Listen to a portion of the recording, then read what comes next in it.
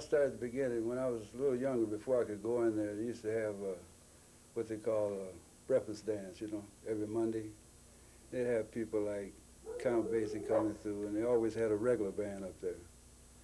And I used to stand on the outside and listen to them. And when I became of age, they they let me come in and sit in with them. You know. then as the years developed, I eventually worked there. I think the last time I worked there was in '59 had my own group in there. I had Abe Woodley on vibes and a fellow out of Philadelphia. I can't think of his name right now. A wonderful drummer, and uh, had a uh, James Richardson. We called him Beans, the bass player. He was on bass.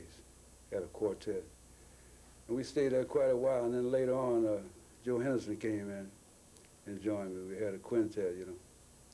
Stayed there quite a while. It was fun, you know. And, uh, and, and, naturally, uh, being the house band, they brought in people like Sonny Stitt and uh, Horace Silvers, you know, all the top notch. We were the house band. They'd come in for about 10 days. And so it was very educational, you know, musically. So when you when you were younger and you said you you, you would stand outside and watching, what what time was that? Oh, that was we'd say in the in the late 30s what kind of sound they blowing? It was, it was still into that, uh, let's see, what could I call it? A little swing area, you know what I mean? Into a swing area at that time. But it, uh, to me, it, it, sounded good, you know. What about the sound? What attracted you to it? Uh, the feel, the feeling, the musical feel that they had, you know, for it. And the concept, that's what drew me. I was up there every, every night, you know. Yes, I had a, attempted to play, you know. and uh, I was coming along, you know, because I was in a fast company. I had, that time you had three or four big bands in the neighborhood. And I, it was one band that I worked with, uh, Wardell Gray was in it. It was called Isaac Goodman's Group. That's when I first ran into Wardell. And he was phenomenal, you know. I, used to scare me to death, you know. At that age, you know. And uh, they had another band around there called Larry Douglas. These were all big bands. Every Sunday, we, uh, it's another time, we used to go down to the, they had a ballroom down on Woodward. I forget the name of it now. No, it wasn't the Graystone. It was another ballroom. They had, uh, can't remember the name. But anyway, uh, we'd uh, we have what they call a battle of music down there. They had a, a band from the east side with Matthew Rucker. That's when I first met Yusuf.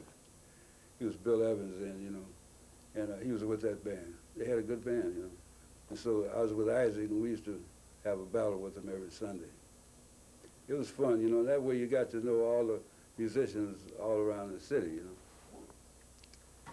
So that was my first exposure to uh, to uh, playing jazz and big bands, you know. I left uh, Detroit. I was working with a band named King Kolax out of Chicago. We were working down, they had a club down in the valley called Three Sixes.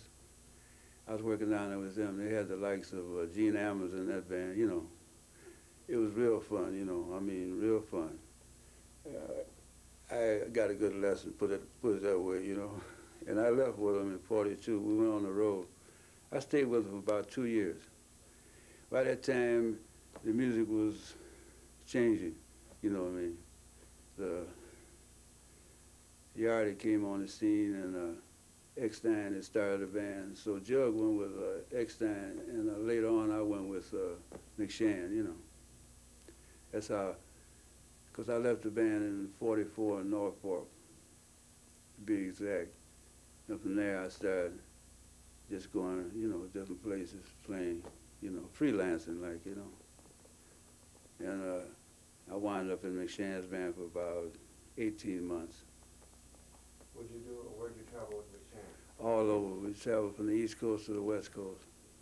What kind of stuff were you doing? We were doing blues and swing and just Kansas City groove, you know. That's why I really, it really uh, enlightened me on the blues, you know. I thought, the, I thought it wasn't anything. That shows you how slow I was, you know. but I got, uh, I got educated, you know. What's this Kansas City groove? Well, they had a certain feel there, it's like they had a certain feel in Detroit. It's hard to describe, but uh, it had a had a nice uh, beat to it. You know what I mean? You, you, was, you know, you could identify with it. You know, you could feel it, make you pat your foot. You know. So this, what's this, you said there, there was a Detroit sound. And, Yeah. What's, what was the Detroit sound? Detroit sound was uh, was was close, akin to that, I would say. You know what I mean? They had the guys uh, that I came up with around here at that time. They, they were very dedicated, and uh, they had a lot of pride. You know what I mean? It was steady. You know. You had, and, and you wouldn't dare go up on the bandstand unless you thought you were ready. You know what I mean? That's the kind of thing that I don't see today. You know. Guy jump on the bandstand today. You know, can't even blow his nose. You know. But what are you gonna do with it? You know, you don't wanna hurt him, you know, embarrass him and all that, you know. But it was it was a different thing, you know, a different time. You have to really, you know, I realize that. Another thing, you had uh, your uh, the people that patronized you. They they were up on it. You know what I mean? They were alert. They knew what you were doing, you know. And you had a following, you know. And, and another thing I wanted to inject is that uh, people used to dance to that music, you know. A lot of people claim you can't dance to it. They used to dance to it. You know what I mean? And so it was, that was a part of the thing. And, and another thing I wanted to inject when I was coming up around here is that uh, most clubs had pro shows. You know what I mean? Entertainment. It's always entertaining, and you, you don't find that too often in groups today, you know. You have to entertain the people also, you know. That doesn't mean you have to be a clown, you know. But you can, you know, entertain them, you know. You know, because they, they come to listen, you know, you can play for yourself at home, you know. You have to make them uh, happy. That's all it's about. If you make them happy, you feel better, you know. Who was in McShann's band when you joined McShann? Uh, Paul Quinichette was there on tenor. And there's a little alto player out of Kansas City. We called him Schoolboy. He, he could play. The band overall was a, a thrill for me, you know what I mean? I learned quite a bit there, you know. McShann, by the way, McShann was one of the, the more milder band leaders. You know, he didn't give you any static, you know. He's real mild. You, you had to be really out of it, you know, not to make it with him, you know. I wanted to say that about him, you know. Was Nice to work. really out of it? Huh? Was there anybody who was really out of it? Oh, well, uh, if you were out of it, you'd excuse yourself, you know. You know what I mean? You just disappear, you know. So what was it like being on the road with them? it was fun. That's all I can say, because you don't, you don't remember the misery, you know. At least I don't, you know. It was musical fun and everything, you know what I mean. There any highlights from that area that Oh, the highlight for me was when we went to New York, you know. Uh, we, uh, we were working at the Savoy Ballroom. They call it the track because uh, you had three bands up there, and as soon as one band gets through, another band starts playing. You work until 3 o'clock in the morning, you know. So they nicknamed it the track. You, you, study, you had to be alert, you know. At the time we were up there, they had Erskine Hawkins Band and another group, I can't recall the name of it. There was three bands up there at all times. You know how you get your signal from the from the theme song, they let you know they're getting ready to take off, you know. You're supposed to be ready when they get through, you know. Assembly line, like. I work with a, a number of groups. I work with a group, I don't know whether you're familiar with him, Snookum Russell. I worked a while with him. And uh, the most uh, rewarding uh, money-wise that I, I worked with a group down in Tampa, Florida. Uh, can't remember his name, but uh, Ray Charles was in that group. That's when Ray was real young, you know. It's a sextet. That's the most money I ever made playing this horn, you know, with that. At that time, you know, a buck was a buck, you know. And uh, I even had a bank account, and I was amazed, you know. but anyway, uh, that's where you make your money with, with uh, strange groups, you know. But uh, it was fun. I stayed down there quite a while, you know, worked with them. That was a good experience too, you know. It's different. The, the, the band, by the way, was on a kick like uh, Louis Jordan, you know. Had that kind of effect. And Ray was uh, developing then. He was, they'd, uh, we the horns would come off and the rhythm section would play and they'd make a trio out of it, you know still entertaining aspects of it, you know. So it was fun. That's, I really, I learned a lot uh, being around Ray too, by the way. Good musician, excellent, you know. So then I met Cannonball. At this time, I'm, I'm meeting all these people in Florida, you know, Cannonball, that's when he's going to college, you know. And Blue Mitchell and all of them, you know. And then that Jackson, uh, I forget his name, his full name, Jackson Tenor-Flare think they called him Gator Tail later on. Used to work with Bruce Brown, you know. I met all those people down there, you know, and different. You meet so many people, but it's all about music, you know. Because time you hit town, the guy say, "Okay, man, take your horn out, let's play," you know. And you're young. When you're young like that, you can do it, you know. Travel 400 miles, and when you get to town, take the horn out and start playing, you know. So it was it was really fun, you know. I wouldn't advise an old man like me to try it now, you know. that's that's the kick I got of. I learned a long time ago not to just walk in and, and head straight for the bandstand. You know, that's disrespect. You know what I mean? Let the guy ask you. You know. That's a policy I've followed all my life. You know, I think it's a wise one. I don't care how good you can play. You don't do that. You know, because they got they have their own program. You know. I put it all together and I, I said, uh, I said, man, if you're gonna stay in this, you gotta learn your instrument better. You gotta play better, you know. You gotta learn how to read better, you know. Just overall, I had to overhaul myself, you know. So that's what I set out to do, you know. After I took care of some business here and there, that's that's been my project, and I'm still still doing that today, you know. Influenced by just about everybody musically, you know. I can truthfully say that. But my, my favorites, I, I would say was Don Byas and naturally Coleman Hawkins. And you know uh, Charlie Parker influenced me. Then another, another alto player out of Kansas City called John Jackson. He influenced me quite a bit. Sonny Stitt, you know, it's, it's so many, you know. Wardell, you know what I mean, when I was real young. And so I had a, I had a, quite a few people that influenced me, you know. I, one episode I remember in Orlando, Florida, we had a big band down there made up of uh, people from all around the country, musicians, very good musicians. Ray, Ray Charles on the piano, he had, uh, can't think of the name, Johnny Moore, another tenor player was there. He was excellent. In fact, they were all real uh, good musicians. Plus the leader was out of Philadelphia. He was a ranger. Anyway, one day at rehearsal, we were rehearsing, and uh, I took a solo, and uh, Ray uh, spoke up and said, "Hey, man, are you gonna play the turnaround, man? You know, turnaround." In uh, layman's terms, is that when you play eight bars, I, seven bars, I would stop. I wouldn't. They have what that eighth bar is supposed to be a turnaround to carry into the next eight. You understand me? So uh, I always would slow up there, you know. I'd pause, and he screamed at me. He said, "Hey, man, play the turnaround." I didn't know what you're talking about, you know, really, and I was too embarrassed to ask him, you know. but I had to. He said, play that chord, man, it'll carry you back into into that uh, next uh, eight bars. I said, okay, man, we got that straight. So that was, uh, everybody laughed. We got a good chuckle out of this, you know. and uh, I wish you could have heard that band. It was phenomenal when I think about it, you know. When I, when I arrived here, you had Frank Foster here, Joe Henderson, Thad Jones. That was happening. Wardell just left. He was working up to the Bluebird with Frank when I got in.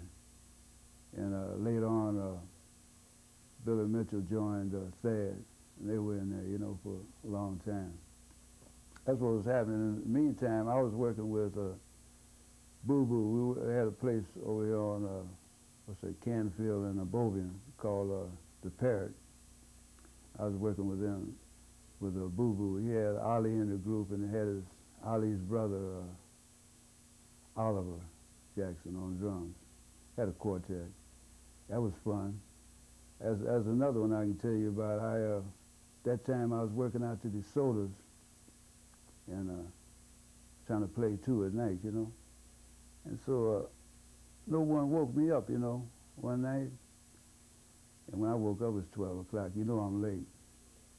So I didn't even, you know, call down there or nothing. I said, well, I'm automatically fired. You know, I didn't show up. It's 12 o'clock. So I just went on up to the Bluebirds, you know, and hung out, you know. Boy, life is something. yes, it was uh, quite a few groups.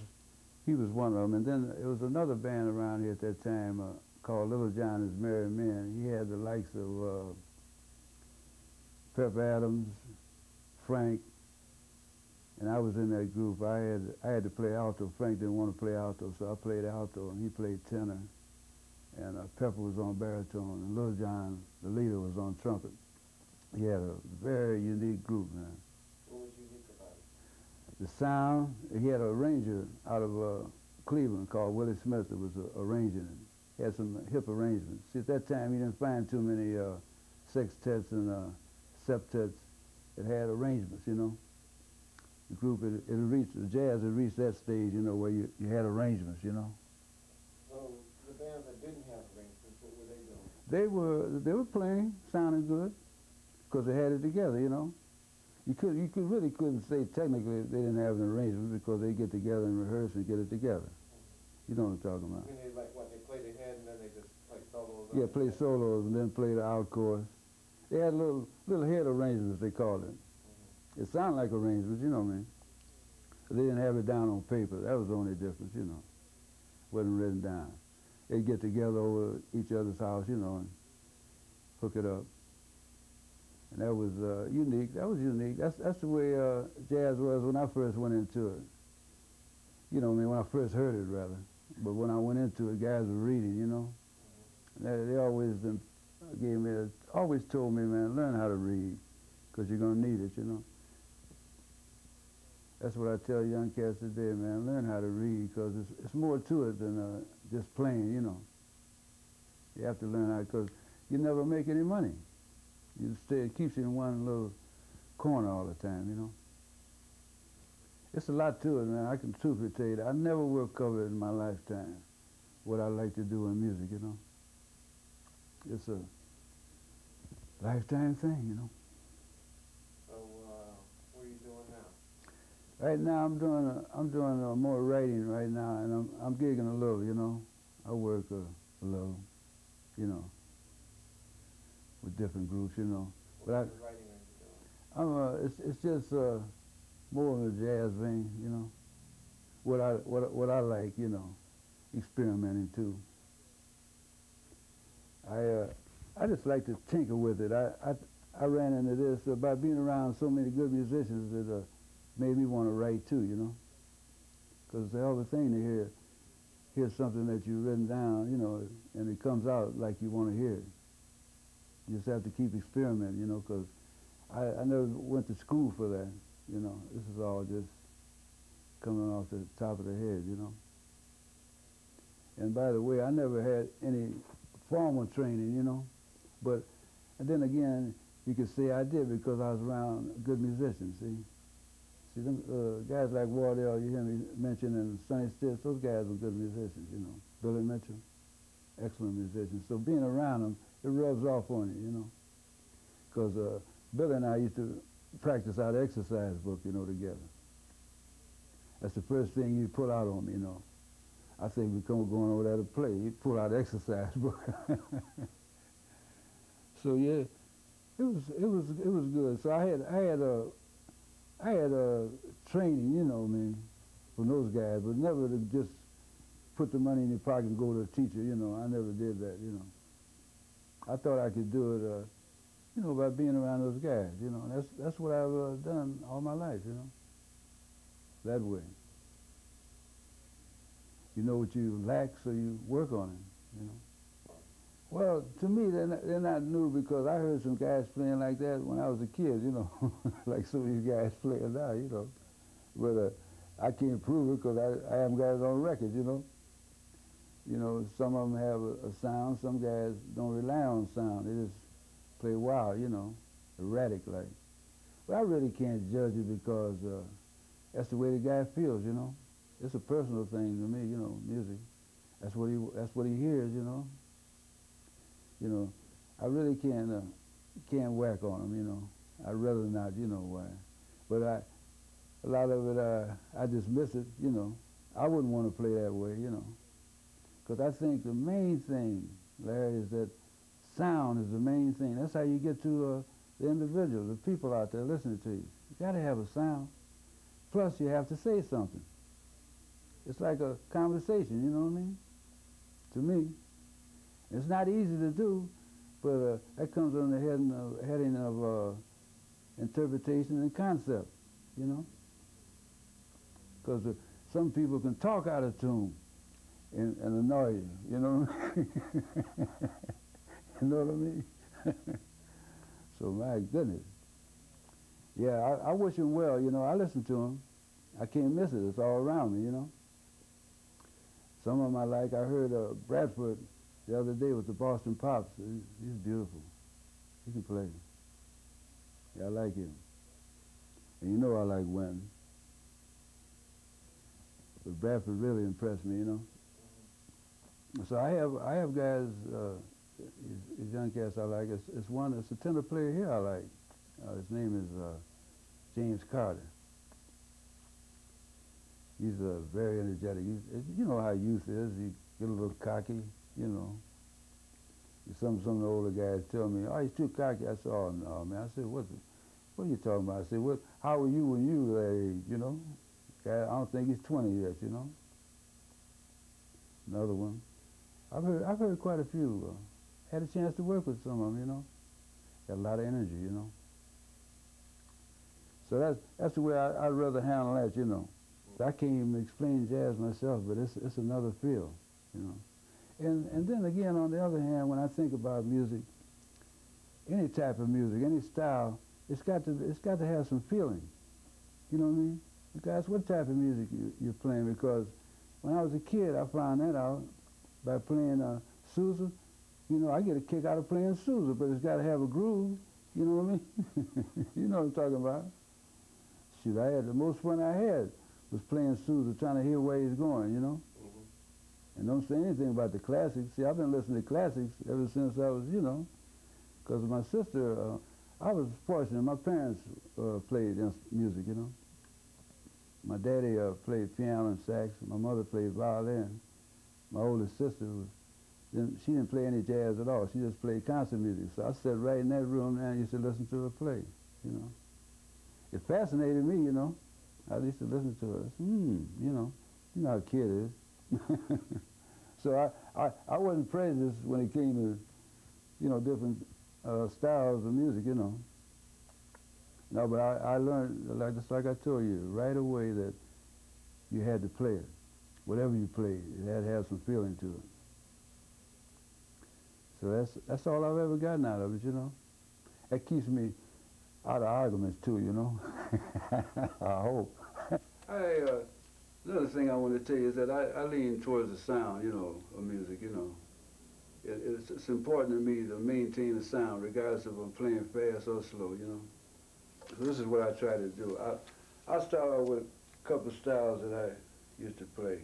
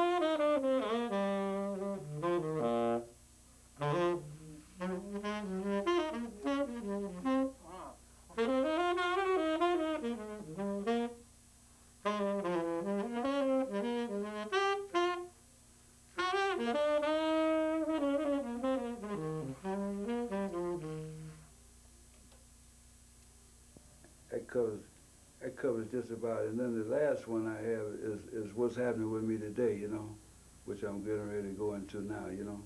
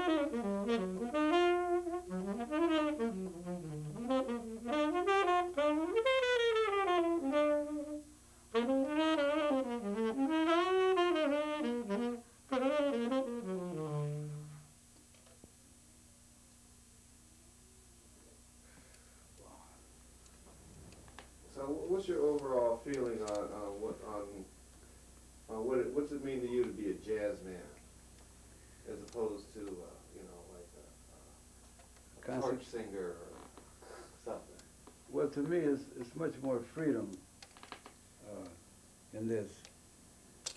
In other aspects of music, you have to stick kind of close to to what the conductor or the way the composer wrote it. In jazz, you can inject your own feeling, you know. That's that's a. I think it's more. It's more of a challenge because you, you feel different every time you, you pick it up, you know. You feel your interpretation is different every time you play it.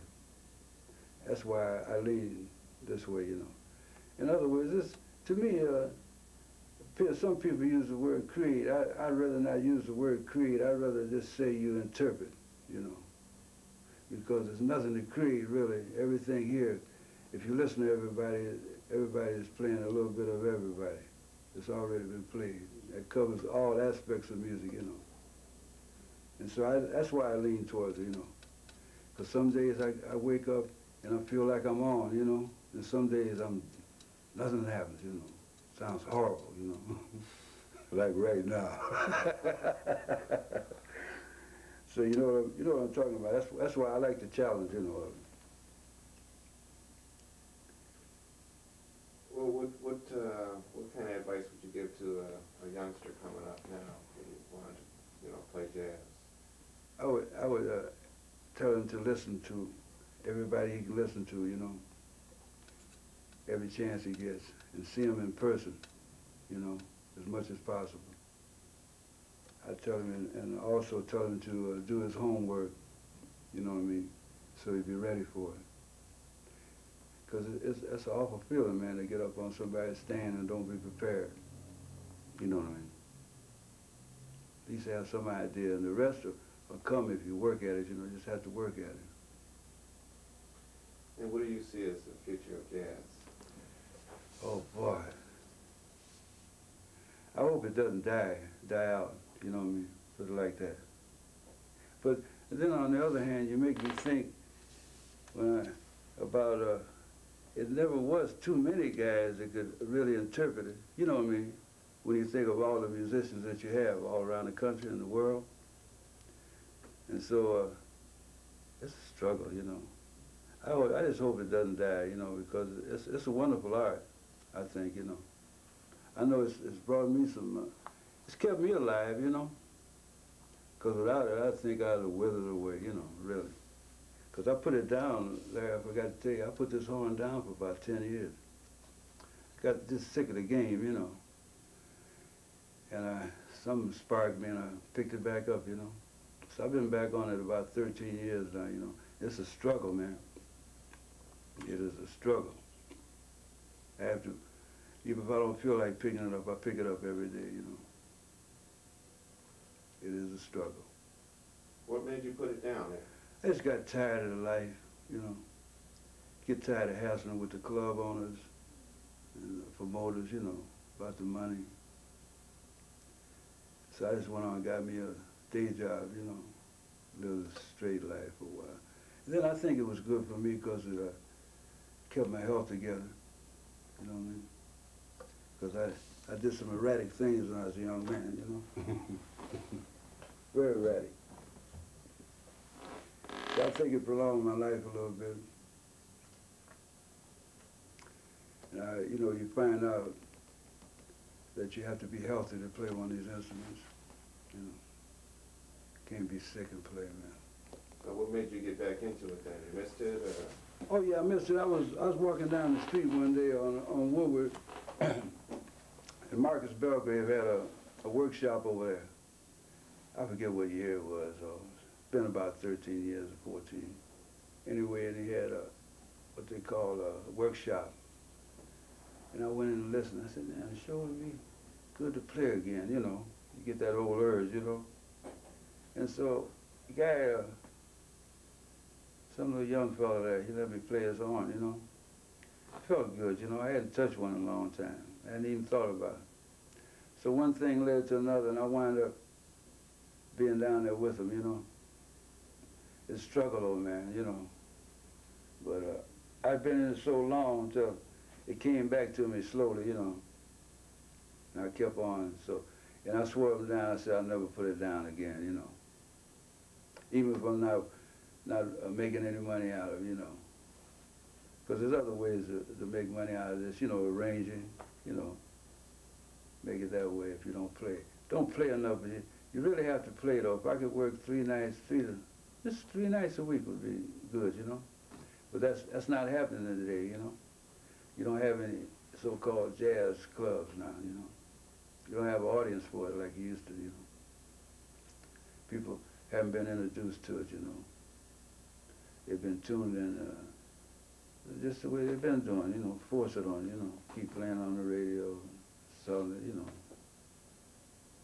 So I'd advise, like you said, the young guy, my advice for him is just keep at it and listen and get some kind of concept what it's about. And don't get too cocky, you know.